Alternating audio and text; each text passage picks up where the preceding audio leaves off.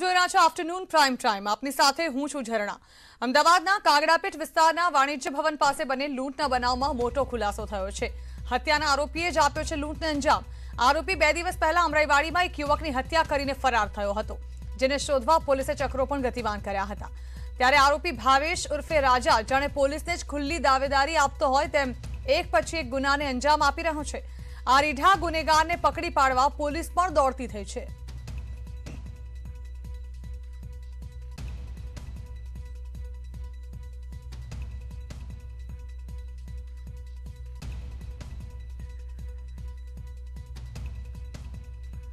તો સવારે વાણિજ્ય ભવન પાસે જે લૂંટનો બનાવ બન્યો હતો, જેના સીસીટીવી પણ સામે આવ્યા છે. સીસીટીવી તપાસના સામે આવ્યો છે કે જે લૂંટની ઘટના સામે આવી છે, તેને અંજામ આપનાર આરોપી એક હત્યાનો આરોપી છે. અમરાઈવાડીમાં એક હત્યાનો અંજામ આપનાર આરોપી, તે પોતે પણ, તે પોતે હવે લૂંટના હત્યામાં પણ, લૂંટના ગુનામાં પણ સંડોવાયેલો છે.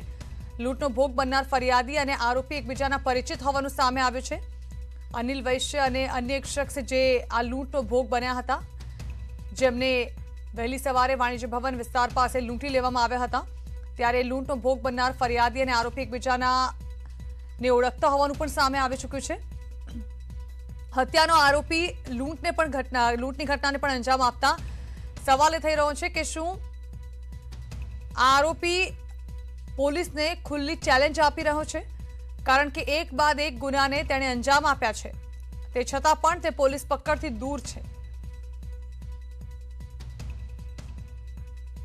હવે સીસીટીવી સામે આવતા આ અંગે આ આરોપીને શોધવાની તજવીજ પોલીસે હાથ ધરી છે. જલ્દીથી જ આરોપીને શોધી લેવામાં આવશે તેવી બાહેધરી પણ આપવામાં આવી છે.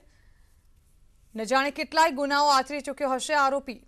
હાલ તેની તસવીરો સામે આવી રહી છે. તેને ઝડપી પાડવા માટે પોલીસે ચક્રો ગતિમાન કર્યા છે.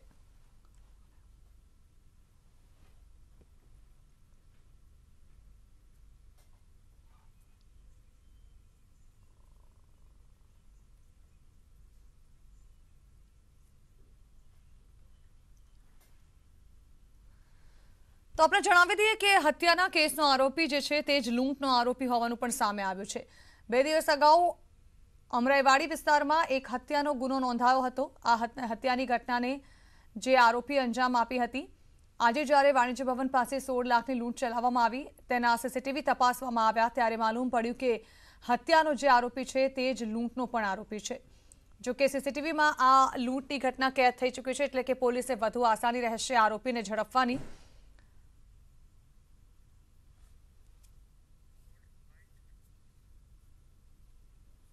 આરોપીઓની જે પ્રાથમિક ઓળખ થઈ છે તેમાં મુખ્ય આરોપી રાજા ઉર્ફે ભાવેશ જયંતિભાઈ સોલંકી છે.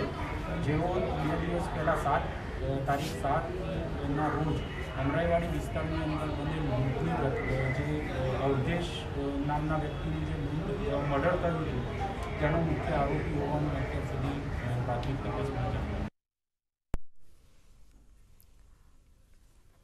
તો આ એ જ આરોપીની તસવીર છે જે આરોપીએ બે દિવસની અંદર જ અલગ અલગ આરોપોને અંજામ આપ્યા. પહેલાં તો તેણે હત્યા નિપજાવી અને ત્યારબાદ તેણે લૂંટની ઘટનાને અંજામ આપ્યો. વધુ માહિતી આપી રહ્યા છે સંવાદદાતા હરમેશ સુખડિયા. હરમેશ પહેલા હત્યા અને ત્યારબાદ લૂંટની ઘટનાને અંજામ આપનારો આરોપી જાણે કે પોલીસે ખુલ્લી ચેલેન્જ આપી રહ્યો છે. જાણવા માંગીશું કે આ ઘટનાઓ પરથી હાલ પોલીસ કઈ દિશામાં તપાસ હાથ ધરી રહી છે? બિલકુલ ધરણા સૌથી પહેલા જો વાત કરવામાં આવે તો કાગડાપેટ વિસ્તારમાં સોળ લાખ રૂપિયાની લૂંટ થઈ છે, તે કેસમાં મહત્વની કડી પોલીસને હાથ લાગી છે. અને આ જે પોલીસની મહત્વની કડી છે, તે હવે ન્યૂઝ એટીન ગુજરાતીના હાથ લાગી છે. આ સીસીટીવી એક્સક્લુઝિવ દ્રશ્યો છે કે જેમાં બે લોકો છે કે જેમાં રાજા ઉર્ફે ભાવેશ નામનો વ્યક્તિ અને તેની સાથેનો જે તેનો સાગરી છે, તે બંને લોકો કાંકરિયા પાસે આવેલું એક સર્કલ છે. ત્યાં આગળ ઊભા રહે છે અને જે ભોગ બનનાર યુવક છે, તેની પાસે આવી અને તેની સાથે રકઝક કરે છે અને ત્યારબાદ તેની પાસે જે સોળ લાખ ભરેલો થેલો છે તે લૂંટવાનો કોશિશ કરે છે. જ્યારે આ જે ભોગ બનનાર યુવક છે તે મનાઈ કરે છે, ત્યારે આ બંને શખ્સો છે તેને હથિયાર જેવું કંઈક વસ્તુ બતાવે છે અને ત્યારબાદ તે ગભરાઈ જાય છે અને તેના કારણે તેના સોળ લાખ ભરેલો થેલો લઈ અને બંને શખ્સો ફરાર થઈ જાય છે. પરંતુ પોલીસ તપાસમાં એવું સામે આવ્યું છે કે જે આરોપી છે, જે મુખ્ય આરોપી રાજા ઉર્ફે ભાવેશ. તે બે દિવસ પહેલા તેને અમરાઈવાડીમાં હત્યા કરી હતી હત્યા કર્યા બાદ તે ખુલ્લેઆમ ફરતો હતો. અમરાઈવાડી પોલીસ તેને પકડી ન શકતા તે ખુલ્લેઆમ ફરતો હતો અને ત્યારબાદ તેને આ પ્રકારની લૂંટને અંજામ આપે છે. સમગ્ર બાબતને લઈને આ સીસીટીવી ફૂટેજના આધારે અને નાકાબંધી કરી અને અમદાવાદ ક્રાઇમ બ્રાન્ચ અને જે કાગડાબીટ પોલીસ છે તે લોકોએ અલગ અલગ ટીમો બનાવીને આરોપી સુધી પહોંચવાના ચક્રો ગતિમાન કર્યા છે. જી. જી, બિલકુલ. હવે સીસીટીવીના આધારે પોલીસે તપાસ શરૂ કરી હશે હરમેશ. તો શું લાગી રહ્યું છે કે જલ્દીથી જ આરોપીને ઝડપી લેવામાં આવશે? બિલકુલ ઝરણા, આ જે આરોપી છે તે આરોપીઓ જે રાયપુર તરફનો જે રોડ છે તે તરફ ભાગ્યા છે. મતલબ કે તે તે જે રૂટ છે તે રૂટ ઉપરના અન્ય સીસીટીવી શોધવાની પણ કામગીરી અત્યારે હાથ ધરવામાં આવી રહી છે. જે ક્રાઇમ બ્રાન્ચ છે તે ક્રાઇમ બ્રાન્ચ ટેકનિકલ સર્વેલન્સના આધારે પણ કામે લાગી છે અને અલગ અલગ ટીમો છે તે સ્થળ તપાસથી માંડી અને ટેકનિકલ સર્વેલન્સ અને સીસીટીવી ફૂટેજના આધારે તપાસ કરી રહી છે. અત્યાર સુધી ક્રાઇમ બ્રાન્ચનો ઇતિહાસ રહેલો છે કે ગમે તેવા કોઈ પણ હાર્ડકોર ક્રિમિનલ હોય તેને સુધી પહોંચવામાં ક્રાઇમ બ્રાન્ચને વાર નથી લાગતી. ત્યારે હવે આ કેસમાં કેટલા દિવસમાં આરોપીઓ સુધી ક્રાઇમ બ્રાન્ચ અથવા તો સ્થાનિક પોલીસ પહોંચે છે, તે જોવાનું રહેશે. ઝરણા. જી, બિલકુલ. આભાર, હરમેશ.